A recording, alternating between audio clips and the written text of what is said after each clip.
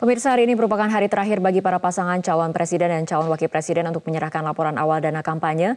Tim kampanye nasional dari kedua pasangan calon direncanakan menyerahkan LADK ke kantor KPU. Untuk informasi selengkapnya akan disampaikan oleh Frans Kalukito langsung dari kantor KPU Pusat.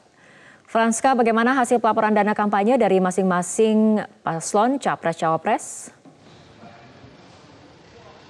Ya Fitri, hari ini adalah hari terakhir penyerahan uh, laporan awal dana kampanye untuk pemilihan uh, presiden tahun 2019 nanti.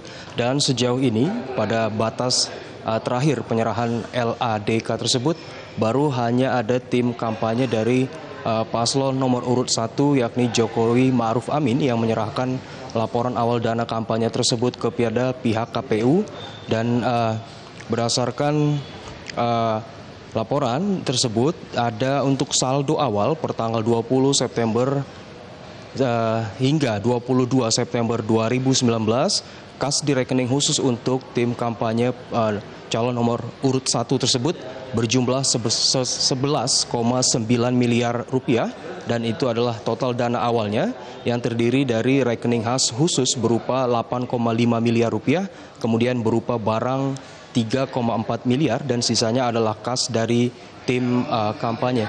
Dan hal tersebut ataupun dana tersebut didapatkan